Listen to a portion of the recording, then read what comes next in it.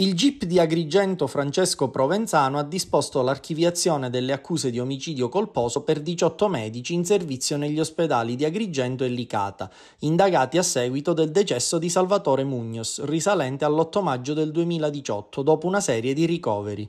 Secondo la tesi iniziale non gli erano stati diagnosticati due calcoli renali, ma dopo la consulenza medico-legale lo scenario sarebbe cambiato e la stessa procura ha chiesto l'archiviazione per i 18 indagati, solo per il 19 diciannovesimo dei professionisti al centro dell'inchiesta, i pubblici ministeri hanno revocato la richiesta di archiviazione e la sua posizione è stata stralciata.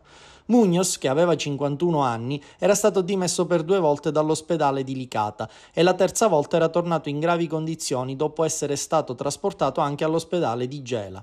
I medici avevano disposto il trasferimento al San Giovanni di Dio di Agrigento, struttura ritenuta più attrezzata a gestire l'emergenza, ma ogni tentativo di salvarlo si era rivelato vano. Munoz morì prima che si potesse tentare un intervento.